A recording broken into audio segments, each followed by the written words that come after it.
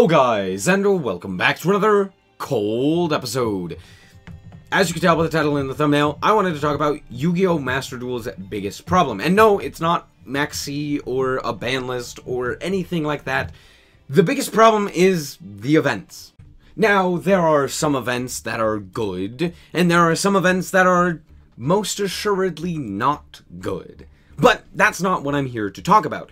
Because, honestly, each event is basically subjective. Whether or not you liked the NR event is entirely up to you, and whether or not you had a good experience with it.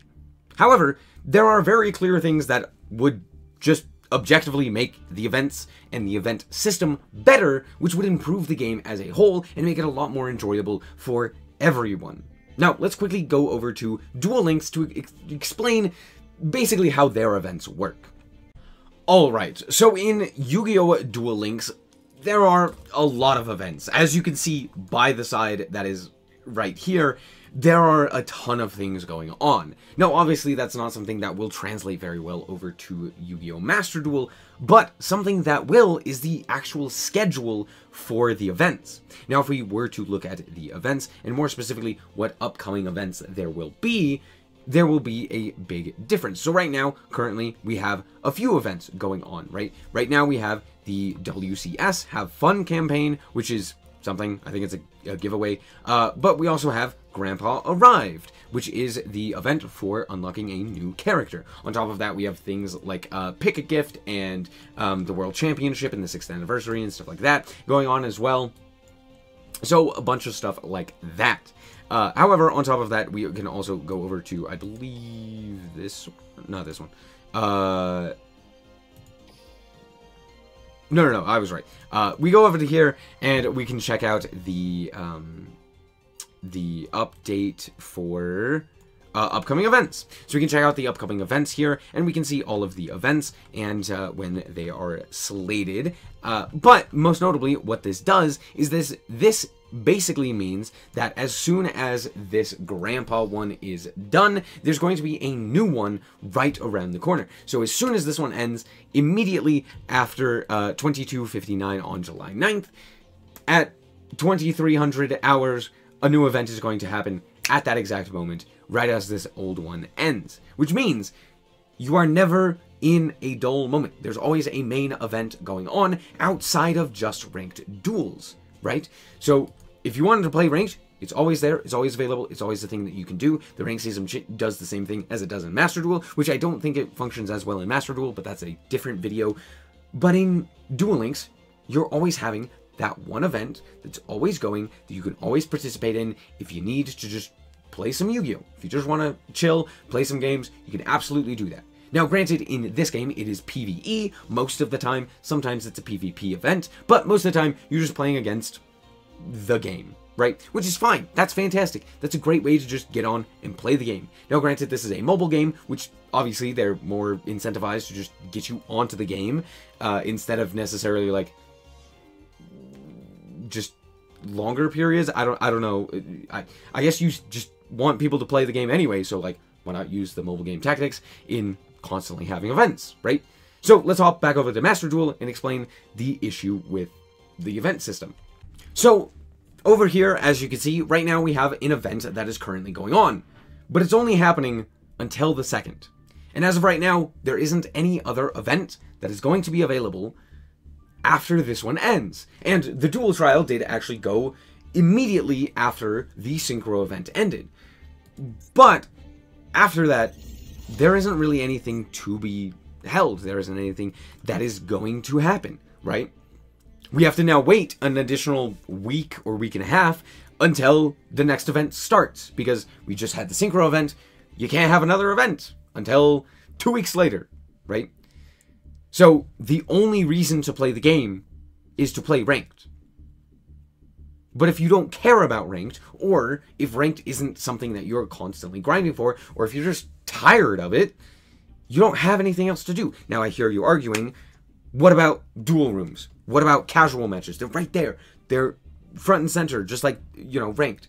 Yeah. But trying to force people, or more specifically, making it so that the players have to actively go out of their way to either get no rewards or actively find other people to duel with just to play your game in a different way than ranked, the most competitive format is a terrible way to get your game to be played consistently. Right? Like, just not everyone is going to enjoy that. Not everyone is going to want to play with other people through Discord or something like that, with like special challenges or what have you. Casual matches do not give a reward. There's no incentive to playing a casual match. You could just play whatever. And they're honestly not the most enjoyable because people are just going to surrender. There's no real point in, you don't get anything. There's nothing there, right? Events are a fun middle ground between competitive and more casual, right?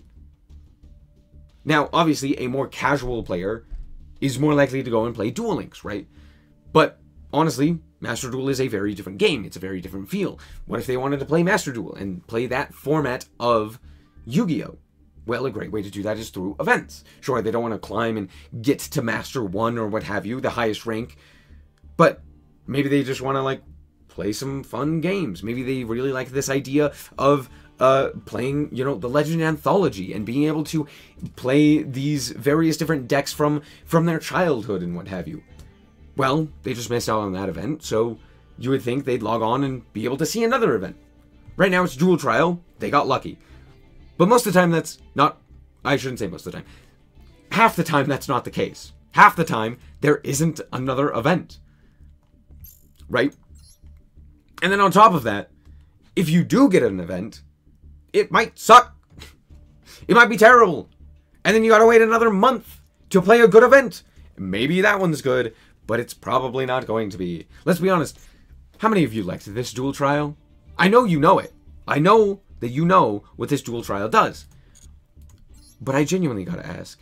How many of you went into this and said, oh, this'll be fun. This'll be interesting. I'm excited to play this. I doubt I doubt that you did. And I doubt you walked away from these from this event and went, "Yeah, no, all of those games were good." Cuz I'm almost guaranteed that you basically played against either just meta or someone on a gamble deck and they just gambled and, and were better than you. You either played meta or you played some weird jank gamble versus gamble deck. Which is like, hey, the gamble versus gamble. Maybe you had fun with that. But those meta games, that's not what you signed up for. That's not what you were looking for. But of course people did it. Right? That's a problem with the event. Wasn't exactly great. So now you gotta wait another two weeks to get a good event. And maybe maybe we'll get one. Maybe we'll get something like the NR event, or like Theme Chronicle, or like uh, you know the Fusion event, or what have you, where it's like, oh yeah, this is a well timed, well uh, executed event that's actually entertaining, that has some uh, good things going for it, that is a good concept. Uh, the Limit One is a good one, uh, like that as well, where it's all Limit One cards. Or you might get a Duelist Cup, which hey, some people really like it. But some people really don't. And it's not for everyone. But now you gotta wait two additional weeks. Just to get a chance at another event you might enjoy. So, obviously, I think the events could be significantly better, but I genuinely do believe just having that other game mode for people to play if they are sick and tired of trying to grind ranked, like I personally have been. It's so nice to be able to go over and just play a few games. Just chill, just play them, just have fun. Like, why would I do the duel trial? What's the point? This isn't gonna be fun. Do you see my point? Hopefully you do. Uh, let me know down below if you would agree with this. Maybe you think that there is a different problem besides like a ban list because obviously that's subjective. But maybe you think that there is a bigger problem with Yu-Gi-Oh! Master Duel. I think that they really did drop the ball. I really do think that the events were a big selling point that they just didn't capitalize on. I also think that obviously the, the ban list does help and I think like actually you know, making a ban list for like a best of one would have been very helpful. Like that's obviously like a no-brainer but alas here we are. Um, i also think like there's a bunch of things that they could have done better. I think solo mode's kind of mid they, de- they definitely could have done that a little bit better. I think they could have done like the accessories and stuff like that which i think that they are doing better now there's a bunch of little things here, here and there as well. But like Master Duel is still a very good game, and I do want to see it succeed. I don't want to see Konami succeed because they're terrible as a company, but I do want to see this game in particular succeed because I really like Yu-Gi-Oh! and I really do like the way that Master Duel is created. It's a very high quality game for Yu-Gi-Oh! Is it perfect? Not in the slightest. But it could it could be significantly better than it currently is, and I think the first step is making the events better. Anyway, that's going to be it for this episode. I hope that you guys did indeed enjoy. If you did, I like it very much, I appreciate it. And if you want to check out more content like this, as well as more Yu-Gi-Oh, then just be sure to subscribe. Anyway, thank you guys so much for watching, and remember to always stay frosty. Bye-bye. Shout out to the Frost Guard, my members. Thank you guys so much for the support, and I hope you enjoy the content.